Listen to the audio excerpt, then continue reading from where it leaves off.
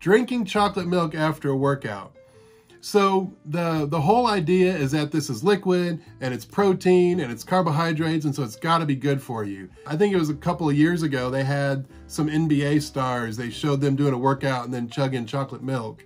And um, so the whole problem with that again, just goes back to sugar. And if, if you've listened to any of my content, you absolutely know sugar does not provide anything at all that the athlete needs.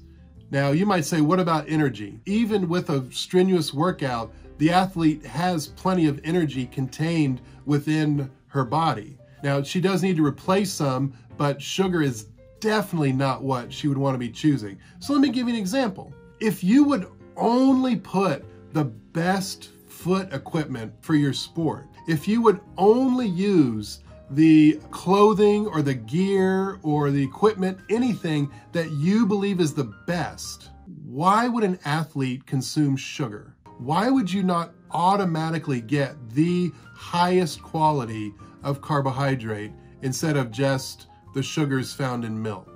So yeah, I, I've been hot and sweaty after a, a long day at work and drank chocolate milk and it's ice cold. It's, it's incredible. It's basically just melted ice cream. There's no chance that any athlete seriously wants to provide that for their body. Thanks a lot for watching.